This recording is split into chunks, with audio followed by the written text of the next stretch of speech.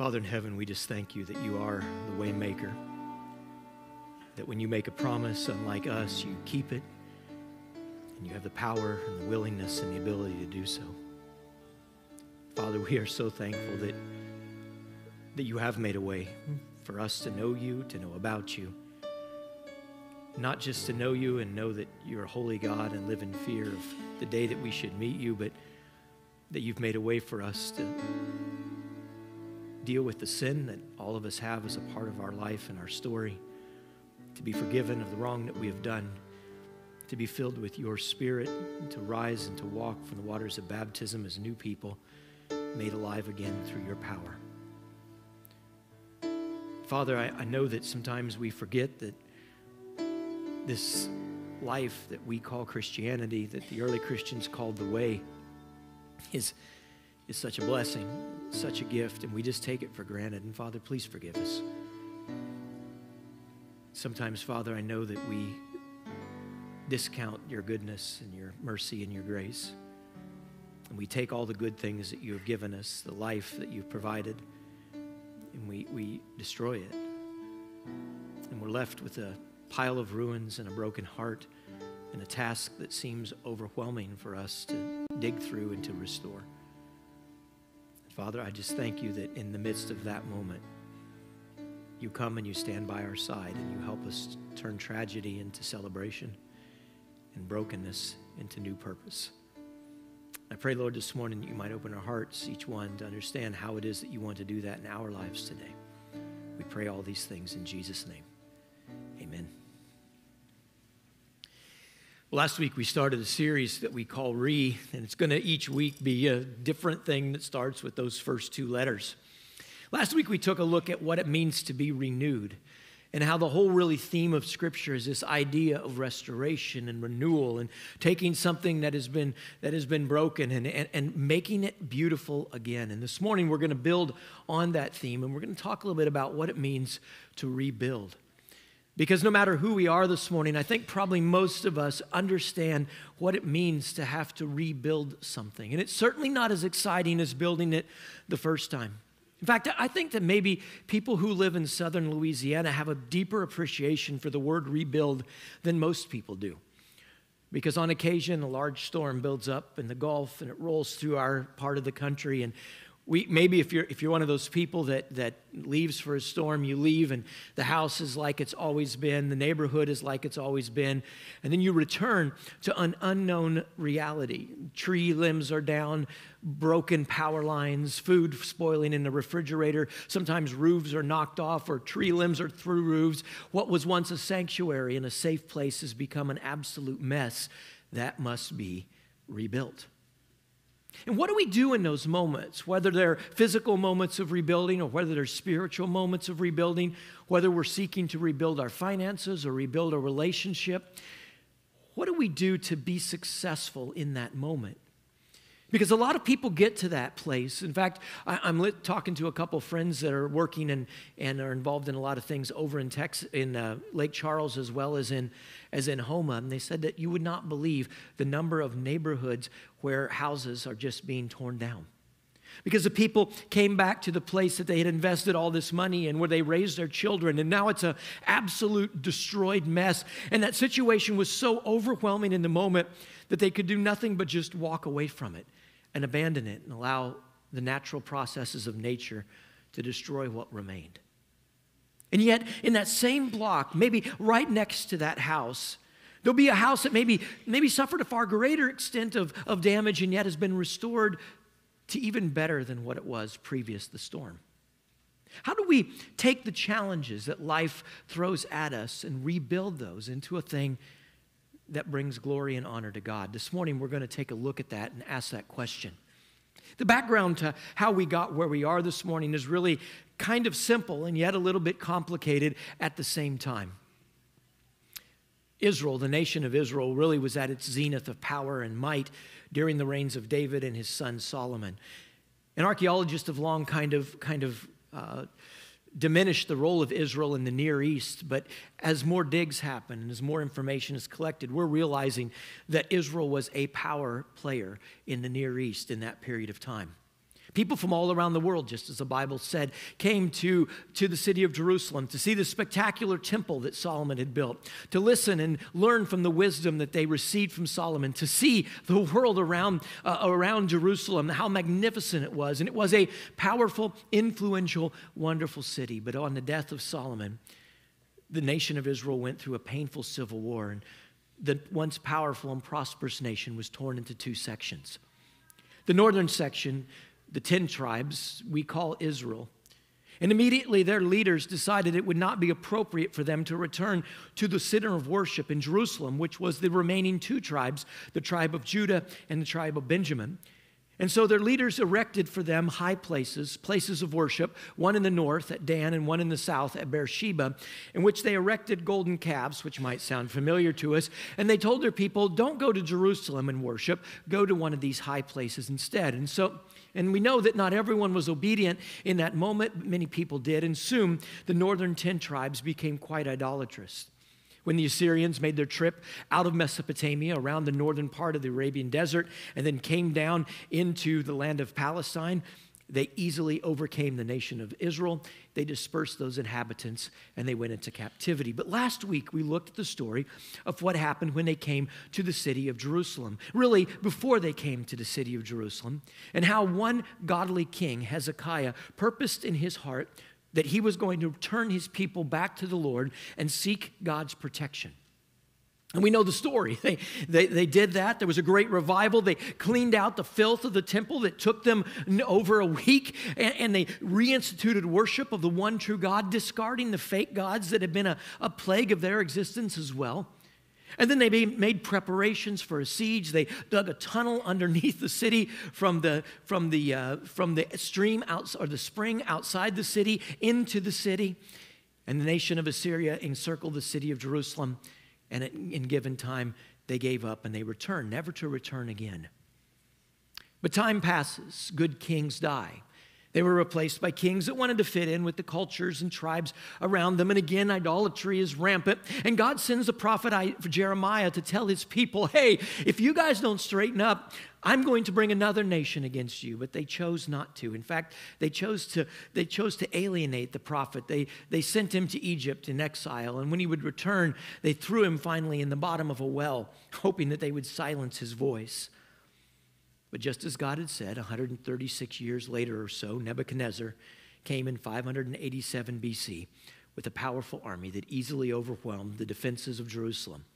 He destroyed the city. He looted and smashed the beautiful temple that was built there, and he took the inhabitants, the best and the brightest of the nation of Israel, the tribes of Judah and Benjamin, and he carries them off to his capital city, which is Babylon. From that period of time, we get those great stories from the book of Daniel. And, we know that God, although they weren't in their homeland, God was still working among them and he was sending a powerful message to the nations of the world. But just as Jeremiah had said, in the course of time, God would send his people back to their homeland. 70 years they would live in exile, and at the end of 70 years, God raised up another nation not the Assyrians, not the Babylonians, not the Medo Persians, but the Persian Empire, that they would kind of, kind of dissolve the, the relationship with the Medo Persians. A new king would come to the throne, and just in the nick of time, God's people would return home. And God provided two leaders who each one have a book in the Old Testament, maybe not familiar to many of us outside of their name, Ezra and Nehemiah. And both of these men were used by God as powerful tools to encourage and challenge his people to accomplish a rebuilding project that looked to be absolutely undoable. Ezra was a, was a kind of preacher and the spiritual leader. Nehemiah was the motivator of men. And together with other people who gathered around them, they made a difference that would last for generations.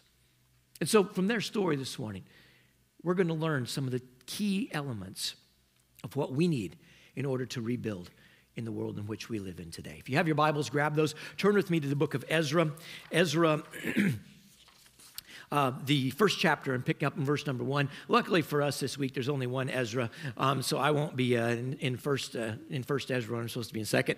Ezra, the first chapter, verse number one, and we're going to begin um, this tale as Ezra begins the story um, at the very beginning, which is a very good place to start. It said in the first year of King Cyrus, king of Persia, the word of the Lord, uh, or that the word of the Lord brought by the mouth of Jeremiah might be fulfilled the Lord stirred up the spirit of Cyrus, the king of Persia, so that he made a proclamation throughout his kingdom and also put it in writing. And this is what he said Thus says Cyrus, king of Persia The Lord, the God of heaven, has given me all the kingdoms of the earth, and he has charged me to build his house at Jerusalem, which is in Judea. Whoever is among you of all his people, may his God be with him and let him go up to Jerusalem, which is in Judea, and rebuild the house of the Lord, the God of Israel. He is the God who is in Jerusalem. And let each survivor in whatever place he sojourns be assisted by the men of his place with silver and with gold and with goods and with beasts, besides freewill offerings for the house of God that is in Jerusalem. And then Ezra goes on to tell us all the things that they were sent with. And you, you, look at this list right here, and they send all the gold and the silver and the beasts and all that stuff. But then, as, then King Cyrus opens up the treasure house of King Nebuchadnezzar, which, of course, his predecessor, the, the uh, Darius, the king of the Medo Persian Empire, had taken from um, Belshazzar, who was Nebuchadnezzar's grandson.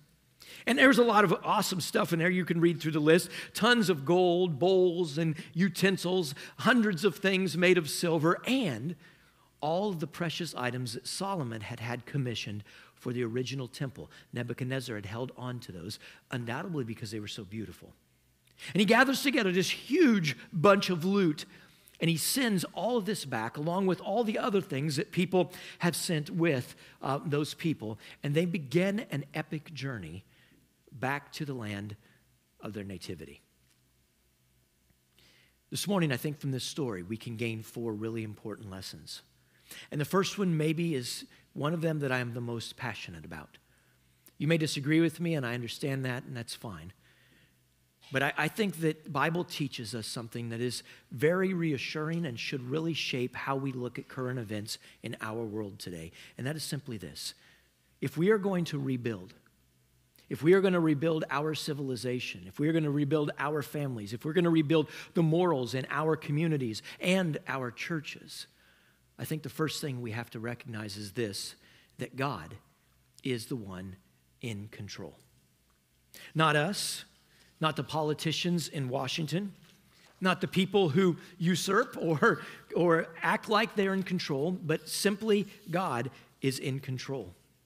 If you look at the opening text here in this passage, it reminds us of exactly how much God was in control. It says, In the first year of Cyrus, king of Persia, the word of the Lord, by the mouth of Jeremiah, as we've pointed out, might be fulfilled. The Lord stirred up the spirit of, the, of Cyrus, the king of Persia. He didn't just come up with this idea on his own. History tells us that something very interesting happened because as Cyrus approached the throne, he was convinced that the best way to manage all the desperate peoples that had been collected by Nebuchadnezzar in Babylon and the best way for him to administer his empire, which was vast, was not to do so with military might, but with economic, with economic uh, puppet strings. And so his idea was is that he was going to take all these people who had been for a long time away from their home countries and he was going to send the Israelites back to Israel and, and, and, other nations back to their homelands. And by doing so, he would put administrators and people there that were present. They would make better use of the property. They would make it more economic, economically prosperous. He would tax them and he would increase his empire, not just militarily, because he ran the world, but he wanted to increase his empire economically. But Ezra tells us that there was a very important reason why Cyrus had this idea, and that is that the Lord stirred up his spirit so that he made a proclamation. And the proclamation is pretty powerful. Because he said, The Lord, the God of heaven, has given me the kingdoms of the earth. Cyrus admitted the fact that he was in the place where he was, not because he had a big army or that he had the right bloodlines or that he was just lucky, but because God had put him there. Sometimes we look around at the leaders in the world that have been appointed over us. And I know we live in a place that is a democracy, and so in a sense, we vote for the leaders that will lead our nation. And we think to ourselves, surely God didn't put those leaders in that place. But Cyrus is the end of a set of leaders that God has put into place. And the first of those leaders, a man by the name of Nebuchadnezzar, was an absolute tyrant. He was a man bent on world domination by any means possible. He was a man that would take young people from their homes and enslave them without asking. He was a man that loved to tear up people's houses, bury them underneath their own properties, and then turn their properties into a manure collection place. This man was evil in many, many ways. Now, God worked powerfully in the life of Nebuchadnezzar, and I believe by the end of his life, he was a changed man from the beginning, but God was using some pretty dark people. Belshazzar was an absolute party animal. Darius, the king of the Medes and Persians, history tells us that he wasn't the kind of guy you would want to go eat dinner with either. God was working in each of these guys' lives, whether or not they wanted to admit it. Cyrus, wisely, chose to admit that God had sent him. But then you notice how God works in the life of Cyrus, because not only does God, Cyrus agree to let God's people go, maybe a part of the story that we don't realize is that he sent them with enormous amounts of wealth with absolutely staggering amounts of stuff. And then he challenged other people to do the same. When God works, he works in ways far bigger than we can ever imagine. The Persian Empire will be conquered by a young man by the name of Alexander, who represents a nation called the Greeks.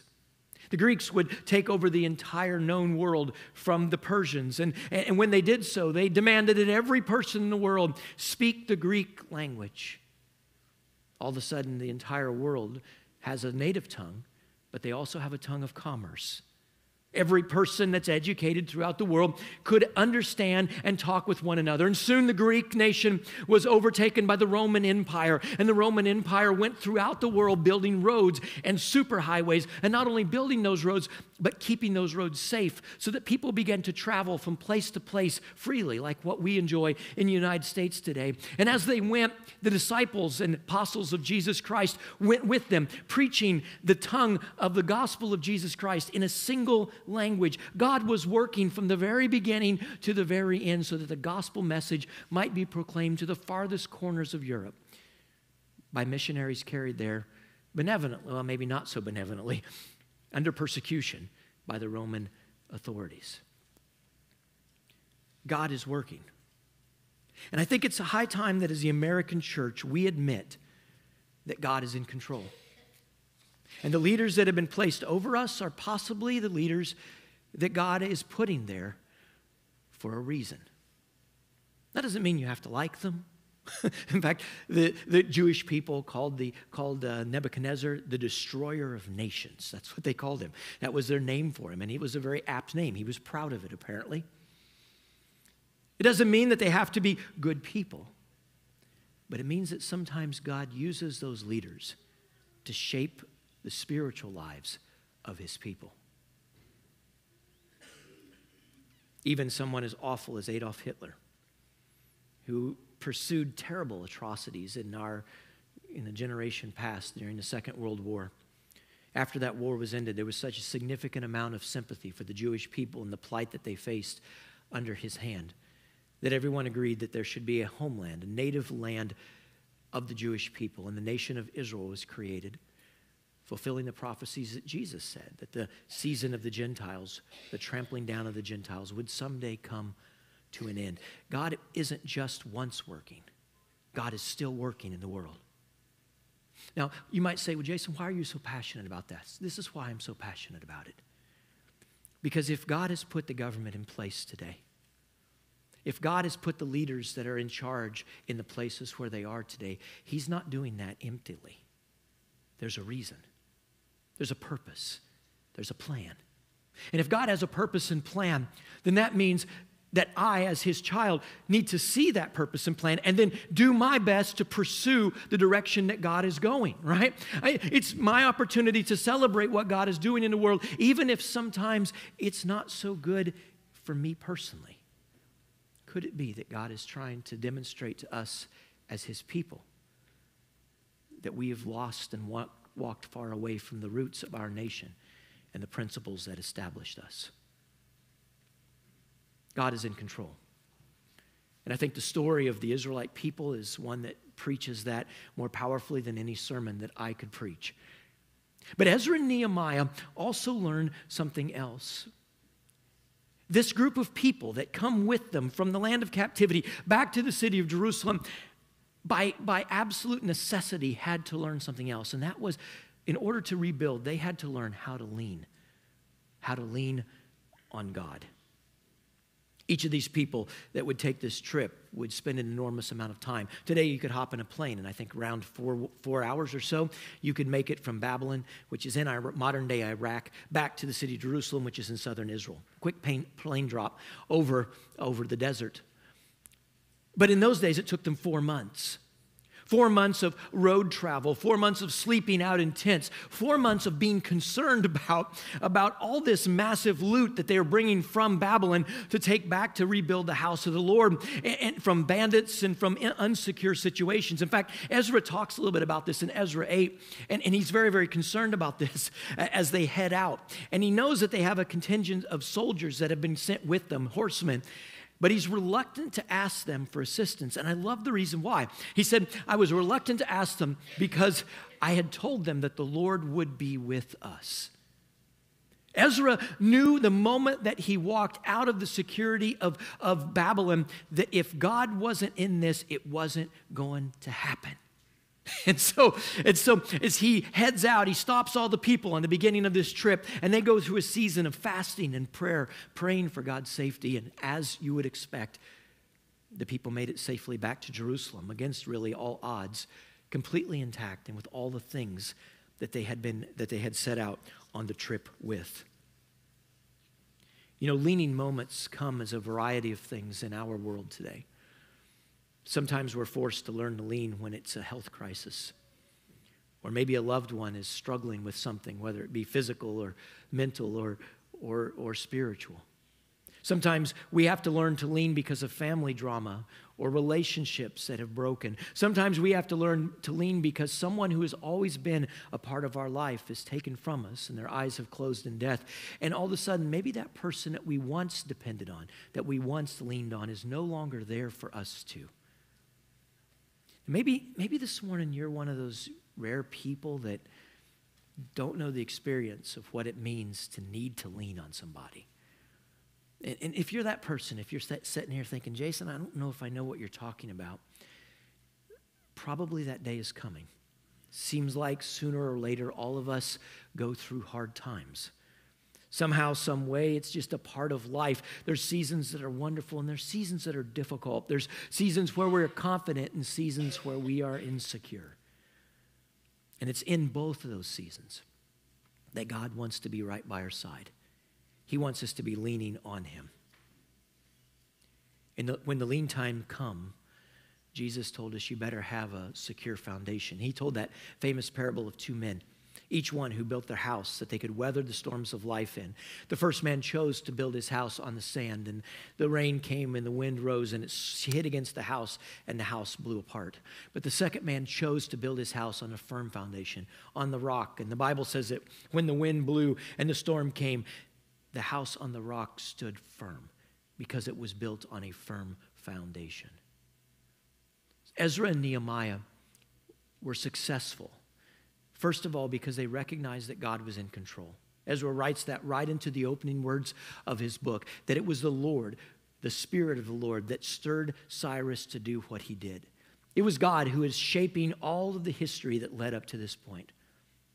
And by nature, they had learned what it was like to lean. These people were leaving safety and security of Babylon, and they were going to a very uncertain future. They had no idea what they were going for, except that they had been called by God to do it. And they were willing to answer that call. The third thing that we can learn from this story is that if we want to be people that are built, rebuilding with the Lord, sometimes we have to celebrate through the tears. You might say, well, Jason, what are you, what are you talking about there? Celebrate through the tears. Are we crying or are we cheering right here? And sometimes the answer to that question is yes. Read with me in, in, in, in Ezra, the third chapter. Ezra relates this very interesting time that happened. And you mentioned, I mentioned earlier that there were other people that were a part of these stories. One of them was a man by the name of Zerubbabel. And Zerubbabel had made it to Jerusalem a little bit before Ezra, and the main contingent of the people came from Babylon. And so as soon as Zerubbabel gets to the to uh, Jerusalem, they immediately seek out among the ashes and ruins where the original temple stood, and they, they cleared the Temple Mount. They quarry new stones, they clean up old stones, and they lay a foundation for the new temple. And then comes the story that we read here in Ezra, the third chapter, because in verse number 12 it says, But many of the priests and the Levites and the heads of the fathers' houses, old men who had seen the first house, wept with a loud voice. Now, maybe some of us who are younger here today are wondering, why are these guys crying? I mean, they, they've been in captivity for 70 years. They finally get to come back. These young guys, led by this, this guy named Zerubbabel, have already started the project. They walk up to look at the project. but I bet most of you older people know exactly why they cried. I grew up in a different era than some of you guys. I know a lot of you who are younger think that I'm pretty old, and I am. And some of you are older think I'm kind of young, and probably I am compared to you. I, I kind of grew up on the end of an era. When I, when I was a kid, they had these things called rallies. I know some of you who are younger, you're like, a rally. What, what in the world is a rally? Um, and uh, the one that was most, fam- most familiar to me was one that was held in a little town in southern Iowa called Centerville. And so it was named the Centerville Rally. Very original name right there, but it was very descriptive. Everyone knew exactly what that was. Somebody in times past, a simple guy by the name of Dewey Locke, had a vision for a campground. So he bought a piece of land on the Chariton River and he built a machine shed. It's just an old barn out there, right? And, and, and, every year, right before school started, hundreds of people from all over the United States would drive from all corners of the United States and they would gather in this building. And it would be so packed in this building that when we would get there, and a lot of times we got there late because my dad got off work late, um, by the time we would drive the 45 minutes to an hour down to this, this rally, right, the singing was ending and there wasn't a seat left in this building. This building was bigger than this building, and there wasn't a seat left in the building. Everyone was packed. Sometimes, if, my, if I was lucky, my grandma saved me a seat, but more than once, I would look in, find grandma, and she would go like this. That meant there were no seats to go sit by my grandparents. It was absolutely packed. And so, myself and a whole bunch of other families are sitting outside of this building, listening to a guy on the inside of the building preach the message of the gospel. A few years ago, I was invited to go back and preach there. And when I was a little kid, I thought, well, it'd be cool to be that guy up front, you know? And then I was that guy. And I'm preaching on a Wednesday night to an audience that's smaller than this one this morning. The world has changed. And for those of us who knew something of a different era, that change is difficult. And I want you to know this morning that if you come from one of those past eras, it's okay for you once in a while to feel a little sorrow and a little sadness. Because the church was on fire at other times and other seasons, and sometimes we don't see that same fire today. But we'd be amiss if we didn't continue to read in this text. Those who had seen the first house, they wept with a loud voice because they knew, they knew how spectacular it had been built by Solomon with the finest craftsmen throughout the world, imported woods from Lebanon in the north. Every single inch of the inside was either covered with gold, with silver, or with precious fabric. The outside of the building was impressive, seen for miles around. It was built by Solomon to send a powerful message to the world, and that is our God is the greatest God around. People came to just marvel at it. And now these old men have returned to see the destruction of that former way. In a few measly foundation stones built or lain in the place of the massive and enormous ones of a generation past. They wept when they saw the foundation of this house being laid, but many shouted for joy, so that the people could not distinguish the sound of the joyful shout from the shout of the people who were weeping. For the people shouted such a great shout, and the sound of it was heard far away. If you were somebody out in the fields around, around Jerusalem that day, you couldn't tell what kind of noise was happening in there because half of the people were going, Oh, it's never going to be as beautiful as it once was. And the other half of the people said, We're rebuilding the city, the temple of God. We're moving forward in the future. And it was just this ruckus of praise that went up to the Lord. Yeah, I'm sure that that first temple was impressive. But those new foundation stones, they heard the voice of the creator of the universe speak in their, in, under their columns. They saw the, the, the, the, the promised Messiah come to the temple as a little baby. They would see the first converts of the church, thousands of people being baptized in the mikvahs around those new foundation stones. Certainly things had changed. And yes, it wasn't as awesome as maybe the first temple was, but there was as many reasons to cheer as there were to cry. And I love the fact that Ezra doesn't stop anybody from doing either one. They just raise their voice as a unified praise, as a great shout to the power of God. You know, I think that most of the message of Ezra and Nehemiah, both books, comes with pain. In fact, it was all immersed in pain. It was hard work, it was disappointment, it was discouragement, it was dealing with negative people, and it was exhausting. I just want to challenge you this morning that when you look back and sometimes we're tempted to get a little pensive, don't get stuck in weeping and miss out on the rebuilding. Because God is still working. God was doing a greater thing than Solomon's temple. It just didn't look like it yet. And that brings us to the fourth and final thing that I think is important for us to look at if we want to be people who rebuild with God.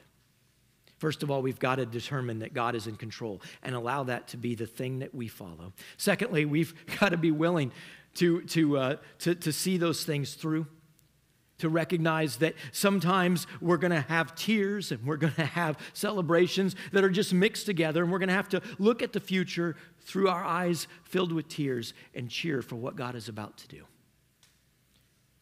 And fourthly, we have to acknowledge sin. It's a part of our story last week, and it's a part of our story this week because it just fits so importantly into all these texts.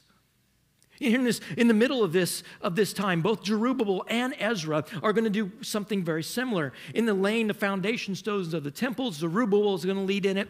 And as people begin to gather here and start this new life in Jerusalem, Ezra is going to lead this. Both of these men are going to build altars and they're going to offer sacrifices because they recognize that much of the reason why they're standing in the ruins that they're standing in that day is because of the sins of some of the people that were there and the generation before them. They were willing to acknowledge their sin. You notice what it says here in Ezra, the eighth chapter. It says, At that time, those who had come from captivity, the returned exiles, offered burnt offerings to the God of Israel. And it's pretty substantial 12 bulls for all of Israel, although there's only two tribes left, 96 rams 77 lambs and a sin offering of 12 male goats. Again, for all of Israel, although there's just the two tribes left, they're making a very powerful statement here. They're saying, We collectively as a people, Lord, have failed you. All of this was a burnt offering to the Lord. If you weren't here last week, I explained a little bit more in detail, and we're not going to take time for that this morning each of these offerings the, the burnt offering, the, the, the, the offering, the burnt offering, and the Thanksgiving offering, and what the significance was of each of those. You can go back and either look at the notes on, on the website or you can look at the video there and, and, and get that figured out. But this was, a, this was an intentional time where the leader of the people, Zerubbabel in the rebuilding of the temple foundations, and Ezra as the spiritual leader of the people, are stopping people, are pulling people back, and they're saying, hey guys, it's time that we acknowledge we have not been the people that God has called us to be. And you know, I think maybe it's appropriate. If we as the church want the world around us to acknowledge the sin that it's dealing with, that we first stop and acknowledge the sin within the church. That we haven't always been the people that we need to be. And certainly, a lot of those people that were there that day, they weren't the people who had done idol worship. in fact, Israel was cured of idol worship after the 70 year uh, uh, exile into captivity. But they were, they were acknowledging the fact that, that we've dropped the ball as a people, as 12 tribes of Israel.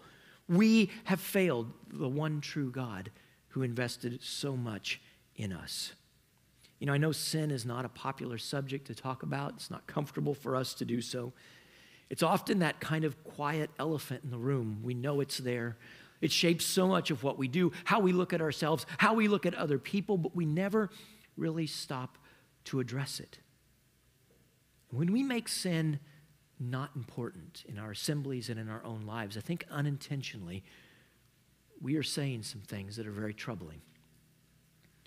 Because sin is why the cross is absolutely essential. Sin is the thing that shows us most powerfully the goodness, the mercy, and the grace of God. Sin is the reason why Jesus came and died on a cross. In fact, when we minimize sin, we minimize the power of the cross, we minimize the grace and the goodness of God, we minimize the death of Jesus, and we minimize the beauty of the church. I think sometimes today, guys, one of the reasons why we're just kind of eh, laissez faire about the church and about the mission of the gospel and about what God's calling us to do is that we are not real honest about our own sin. We kind of are casual about that as well. And I love how Ezra and Zerubbabel, and no doubt Nehemiah was a part of this as well, before the project started, they stepped forward and they said, Let's just be honest about something. We know why we're here. We're here because we turned our back on God. We're here because we chose our own path. We're here because we thought we knew better and we were wrong. God, please forgive us. That's a statement that all of us need to make. In fact, First John, the second, the first chapter, is a powerful passage. It's a very comforting passage to me. Picking up in verse number eight, it says, If we say that we have not sinned, we deceive ourselves, and the truth is not in us. If we confess our sins, he is faithful and just to forgive us of our sins and cleanse us from all unrighteousness righteousness. John here is presenting us with two options. He's saying if you minimize your sin, if you act like you don't have any sin, you're a liar. in case you, he didn't, he didn't pull the punch right there. That's who you are. But he said, if you confess your sins, God is, and this is the encouraging part for me, He's faithful and just to forgive us of our sins and cleanse us from all unrighteousness. Even though we don't deserve it, and even though it shouldn't happen, and even though we shouldn't be able to go back to God over and over again and say, God, I messed up again. God, I gave in again. God, I'm weak again. God said, I'll forgive you. I just want you to acknowledge it. I want you to acknowledge the enormous price that was paid so that you're free. Church, maybe there's some of us that are here today that need to acknowledge that. We need to acknowledge the enormous price that was paid so that we might be free. If you don't know the story, I've got to close it for you.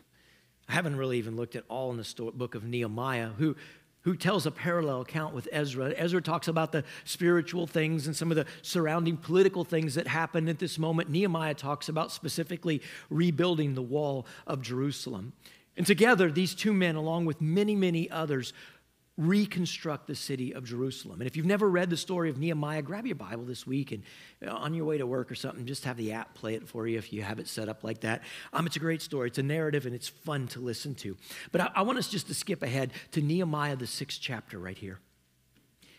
In verse number 15, it says So the wall was finished on the 25th day of the month of Elul.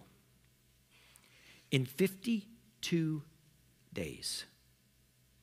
And when our enemies all heard it, all the nations around us were afraid and they fell greatly in their own esteem. This is important because as you read through the story, you're, going to find out that every corner, every moment, every time that they did something positive moving forward, all the people around said, It'll never work. It's going to fall apart. If a fox walks on it, it'll follow. You, got, you guys actually think that you know how to build a wall. You know what, guys? There's always somebody in the world that's going to be a naysayer. There's always a negative Nelly. There's always that person that says you can't do what God says you can do. And you can choose to listen to those people because a lot of people do. These people didn't. In fact, they did quite the opposite. They worked with a sword in one hand and a trowel in the other. They stopped up the gaps where they were. They continued to work both night and day. And in 52 days, they finished the wall. And then you notice all of a sudden the true real problem was revealed.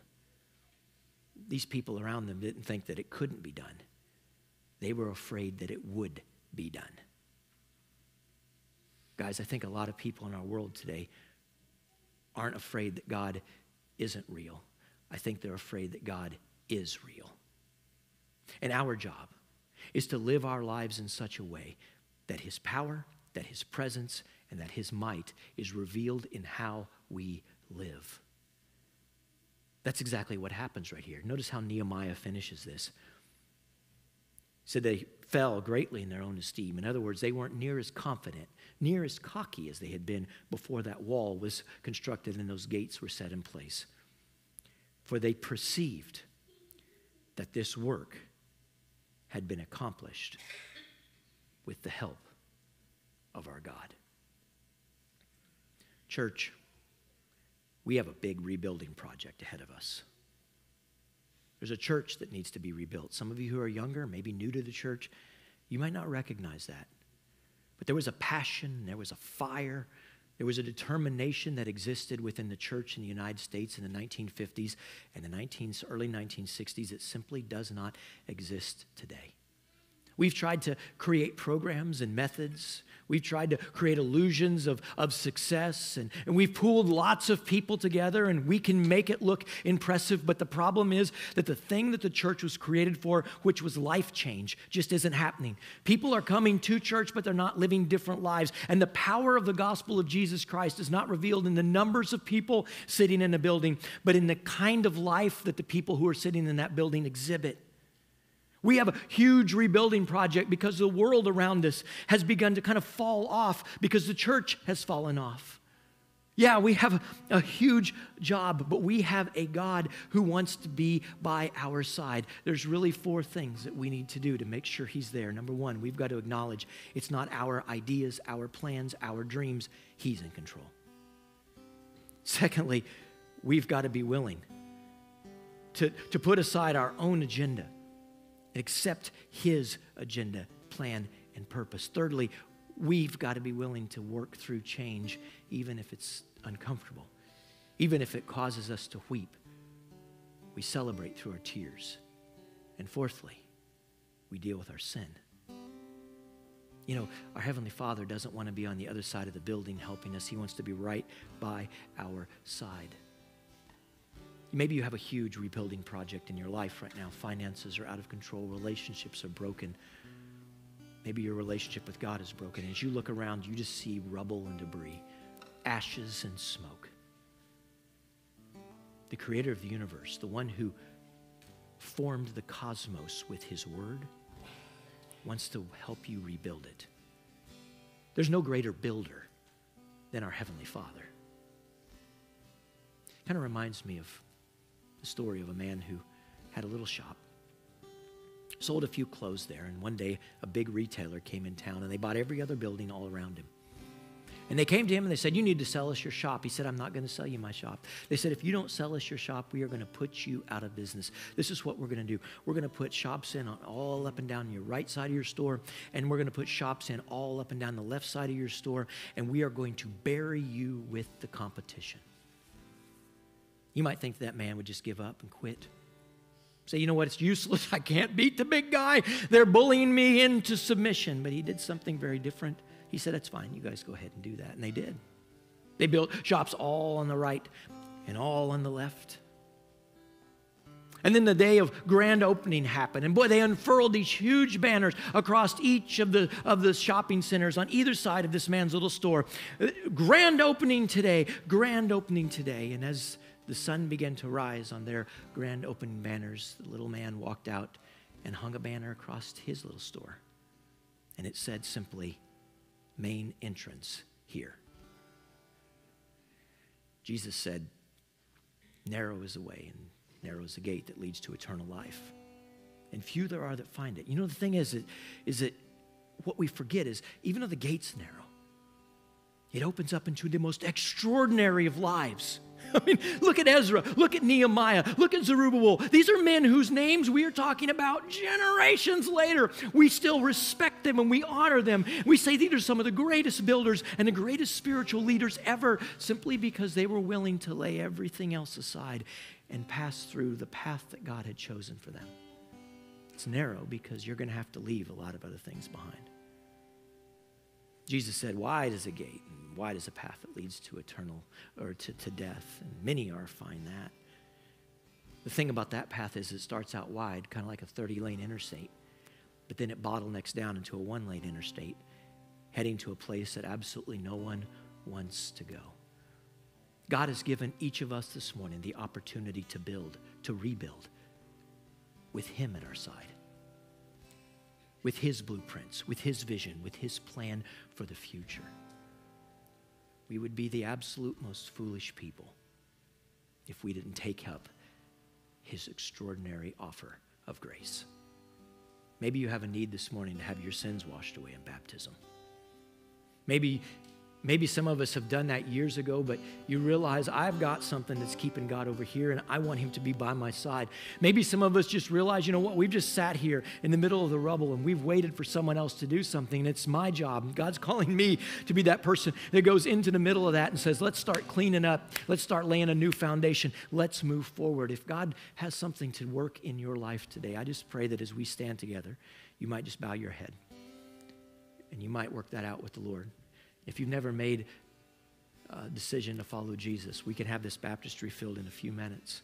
Those sins can be washed away. You'll be filled with His Spirit, and you'll be working together with the one who made it all to rebuild your life, your family, your community, and your world. Let's stand together, church. If you have a need, please come as we sing.